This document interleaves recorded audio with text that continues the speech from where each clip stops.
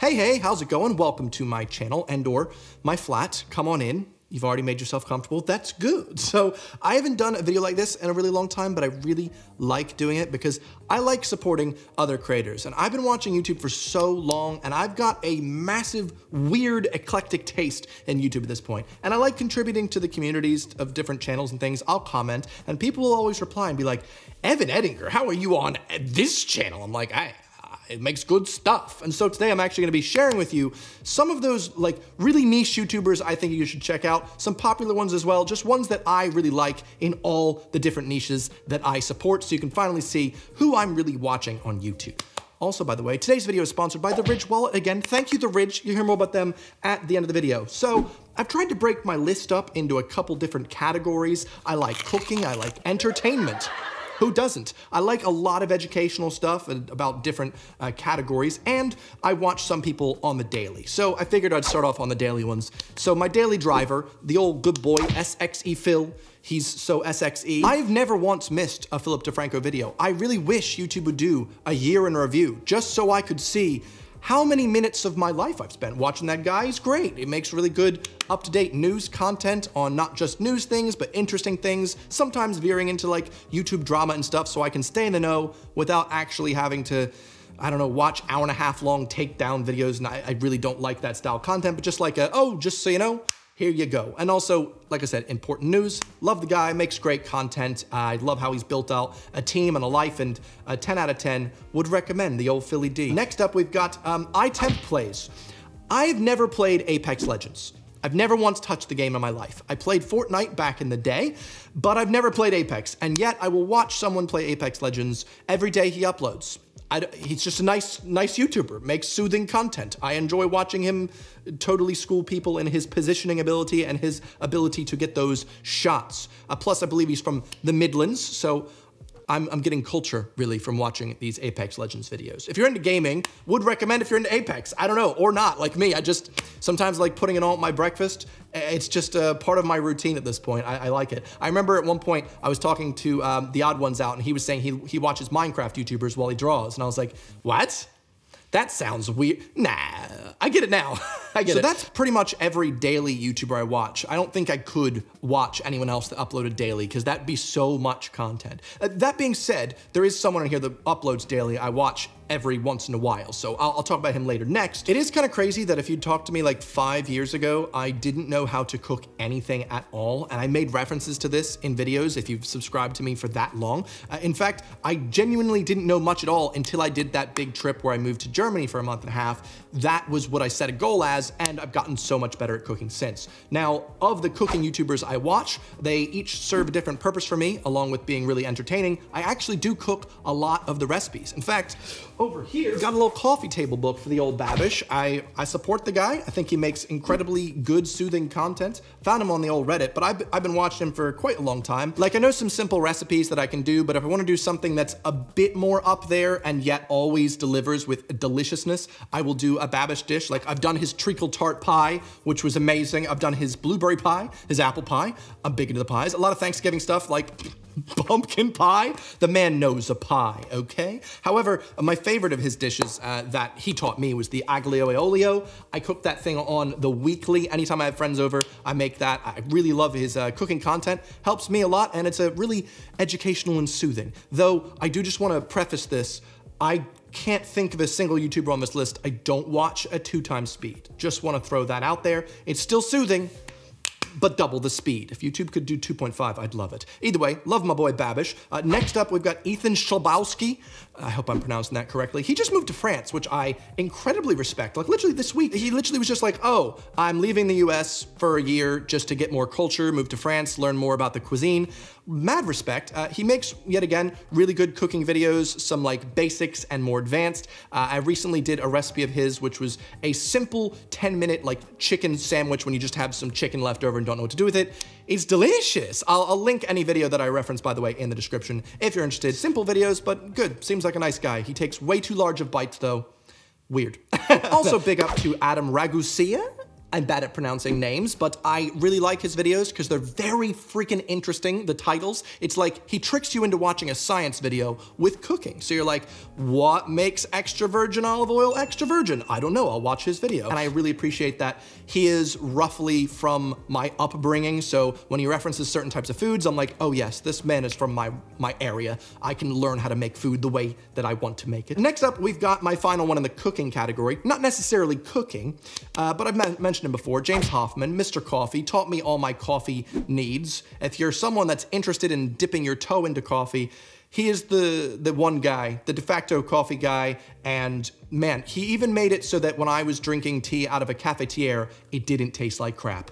Uh, amazing, delicious, he knows all the techniques. Moving on to the next section, I do think you'll see a running theme. Most of these, I find I can be productive by watching videos, like the previous categories, cooking. I'm actually bettering myself and learning things while also wasting time on the internet. And so I kind of feel like I'm learning. The next section is just educational content, whether that be interesting topics, uh, things I didn't know, fun facts type stuff, and also also just history and things like that. First up, of course, being Wendover Productions. My boy, I love his vids. He's such good high production value on really interesting topics. He'll make a video about planes, then he'll make another video about planes, and then like if it's a different day of the week, he'll probably make a really interesting video about planes in airports. Well, you know, but also other things outside planes. But I, I, I, just really think his videos are really, really fascinating. Ooh, I want to know. I want to learn. And also, he's just got a voice for radio. He's got one of those radio voices. Incredibly young.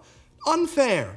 Unfair. He's got like five hidden channels at this point. I love them all. Next up, Historia Civilis. Hope I'm pronouncing that correctly. If you're into like Roman history, this guy's got you covered. Uh, it's just little tiny squares, but it's so fascinating hearing about all these different Roman battles and showing the animations of how the wars were won. And it's got a little bit of humor in there. And I didn't really get to learn as much about Roman and Greek history as I would have wanted in school and university. And so I can just learn it with these really interesting videos, except that there aren't any more that I haven't seen yet because I've watched every single one. They're really, really good. Very much recommend. Also, it's not just the uh, classics, by the way, in terms of like Rome and Greece. He also does a lot of stuff about England. In fact, I sat my friends down we all watched one of his videos on the War of the Roses the other day, just because it's so good. It's so interesting to learn about history, especially when you have a good storyteller. So the next two I'm bunching together. They're two separate YouTubers, but they have a very similar vibe. I think you know what I'm talking about. We got Not Just Bikes and City beautiful. So really, really well thought out videos on city planning that really think critically about what the purpose of cities are, why they're designed the way they are, and showing good examples of like good, bad, essentially bad road culture, good walking culture. The basics, but just really well done. If you're someone that's always wondered like, why do I not enjoy walking in the town I'm in? Or what makes a city that I've been to really, really nice without even knowing it? Well, that's good city design, good city planning, and uh, these two channels highly recommend. Sometimes you'll watch one video and YouTube algorithm will just recommend you every video the person's made. And I didn't think I was going to be that much into architecture, but the B1M is a really good channel if you're into architecture. Just different things about like how certain really expensive uh, sky rises operate or how they were able to be built and the different problems that came to pass with giant architectural phenomena like big bridge tunnels and things like that. If you're into that, which turns out I guess I am, 10 out of 10. Can't talk about educational YouTubers without talking about my boy Tom Scott. I mean, he will make any video and make it really interesting. I feel like he's just been so good at making content that I could just say, hey man, I'm having a burger, and he will come up with the most interesting title and thumbnail and make me learn something about the gosh dang burger I'm eating. He's 10 out of 10 YouTuber. I know I've said 10 out of 10 a lot, but I only watch the best. Uh, if you want my top recommendations for Tom Scott videos, like I said, I will put some uh, links in the description, but yeah, he's one of my favorites. I feel like I could just point to a random Tom Scott video and you'd probably enjoy it. But but actually, I'm in a Tom Scott video where me and Luke compete against each other in the game Garage. So actually, I will link that one, because that, that one I'm in, hey. I think you know you're a Londoner when you go hang out with your friends in LA and they ask you what's up and you're like, the Elizabeth line is nearly finished and I'm very excited. Turns out I really like trains, especially when they have to do specifically with the ones that can I, I can benefit from in London. So if you're into the London Underground specifically, uh, Jago Hazzard, I hope I'm pronouncing that correct. I watched like almost every one of his videos at this point. They're really, really interesting tales from the tube. So he'll go to a certain tube stop and tell you about the history of it, what the train lines used to be back in the day before it was like non-privatized. Like really interesting videos he's done in the past that I thought were interesting were like, why are there seven different stations in Acton? As someone who used to live there, I'm like, yeah.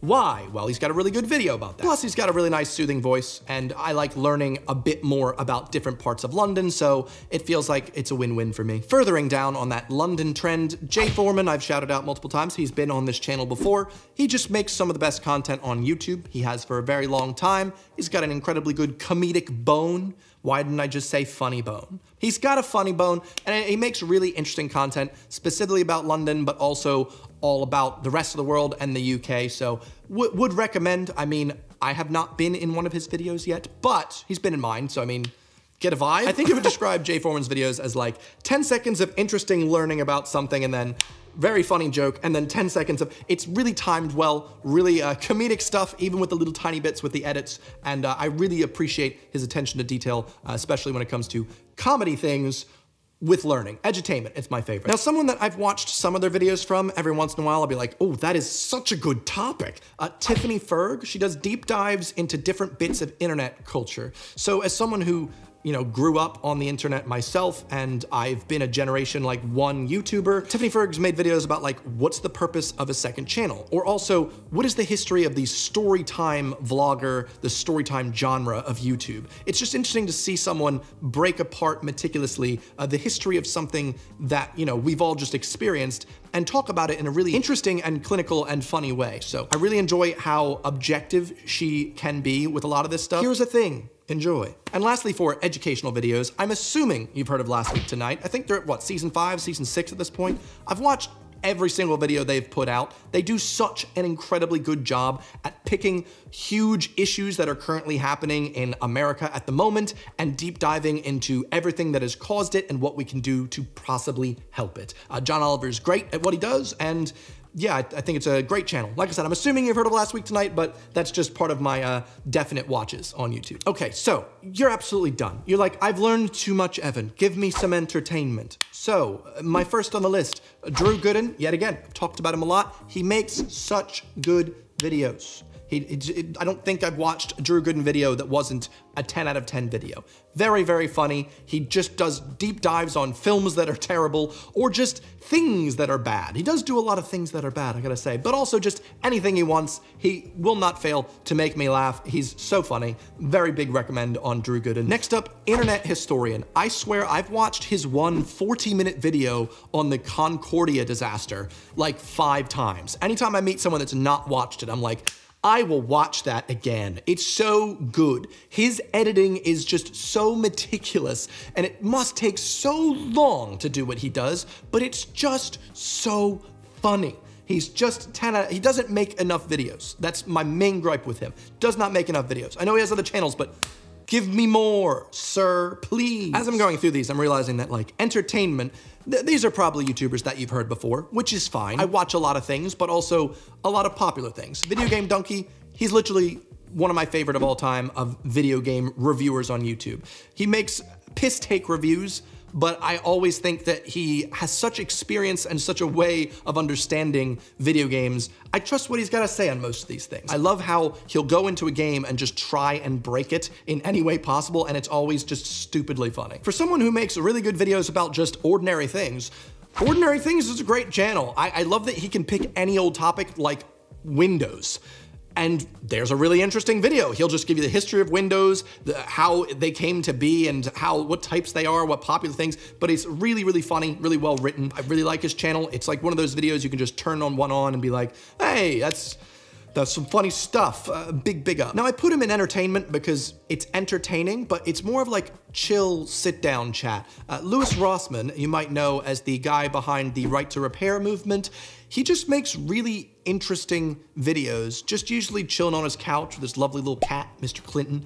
And he'll talk about mostly a lot of the similar stuff that I'm interested in, like why house prices are so high. He'll like go around New York and show different prices on things and be like, this is never going to sell, the prices are going too high, no one can afford that. And I just appreciate whenever I watch any of his videos, I feel like he's so incredibly articulate and honest about things that I feel like most YouTubers wouldn't even touch at all. He's just got such a good head on his shoulders. I respect the guy a lot, and I find his videos just oddly calming, interesting, and um, someone that I'd like to emulate at some point. One of my absolute highlights of Playlist Live two years ago was getting to meet Nakey Jakey. I really love his style of content, his editing, uh, very similar to uh, Internet Historian in terms of it's so incredibly complex. There's like loads of just him sitting on a beanbag and just friggin' spinning all over the place. Incredible use of sound effects. I think he's absolutely hilarious. He can make videos on a wide variety of topics, but I also just really enjoy, uh, I feel like he and I have a very similar upbringing, and I just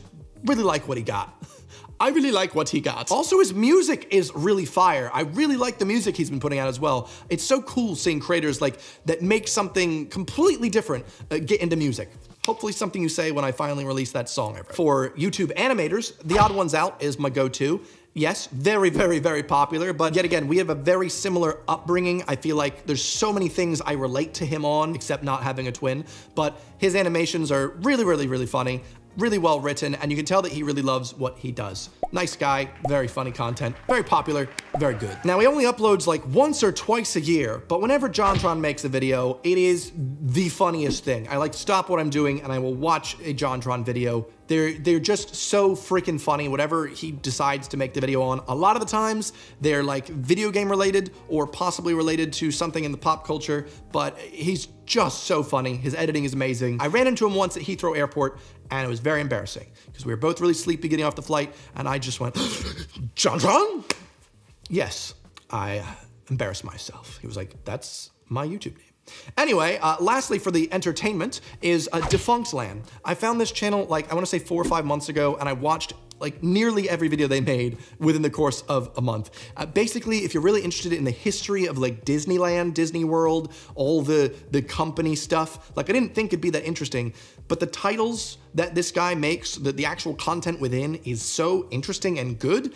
It felt like I'm watching like real documentary stuff, but on YouTube, because I am and it's really good. I did spend some time making this list. However, I do feel like there are definitely gonna be some YouTubers that I've missed out on. Uh, right now, I'm gonna do a quick fire round of all the tech YouTubers I really like. First off, Marques Brownlee, very popular, makes really aesthetically pleasing, beautiful, beautifully shot uh, videos about tech, any new tech gadgets. Sometimes I'll watch a video he's uploaded about a phone I have absolutely no interest in just to see his shots and his editing. It's really, really nice. I appreciate that he's built out his team, and I view myself similar to him in his love of tech and the fact that he's been on YouTube for like 10 years and's just, you know, been growing with it. So big fan of Marques. Uh, Linus Tech Tips, yet again, he's built out a team and a tech empire. The new movie's just done is like so aspirational and also really, really good tech videos. Just if you're into any type of tech, he'll make an interesting video on it. I found out I was accidentally watching like loads of channels that he also produced videos for without realizing, like Mac Address and other ones like that. And I was like, oh,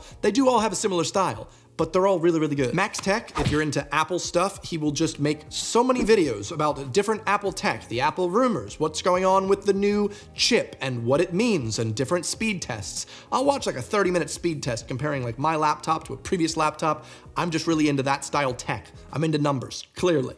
Uh, next up, uh, Tyler Stallman's really good for um, just really aesthetically pleasing content about cameras and computers and things. I appreciate that he's like a full-time photographer and he puts so much attention to detail in his shot, in his set. Next, we got Potato Jet a camera YouTuber. He makes videos about the new cameras, Sony, Nikon, any drone, anything like that. They're very, very, very good. He's very funny. He's down to earth. I like that he uh, interjects bits with his audience in there at the end as well. Uh, very nice guy. I was hoping to randomly bump into him when I was in LA. Probably wasn't there at the time, but sadly did not run into him. Also, Gerald Undone, I mean, the guy has helped me so much in terms of learning more about the camera that I currently shoot on, how to best operate this thing and know everything there is to know. He knows so much about cameras, it's oddly scary. And if there's ever anything coming out, I know that he will know everything about it for some reason. He's definitely one to watch if you have any interest in cameras and how to shoot with your camera effectively. Now, the next one I still have in the tech category, but not the way you think. So everything these days is technological. You know, your fridge is technology. You know, you, have pens that are technology, toasters are technology. Well, Technology Connection is a YouTuber I can recommend if you're interested in just ordinary things and knowing how they work. Like if you're the type of person that's like, I really want to know how my dishwasher works, he will upload two 45 minute videos on the best way to use your dishwasher genuinely changed the way I use my dishwasher, and now my dishes are always sparkling clean. Could he have maybe said it in less than an hour and a half? Possibly. But he's very verbose. He uses all the information that he has and tries to share it and makes just really interesting content, like the difference between certain types of stoplights.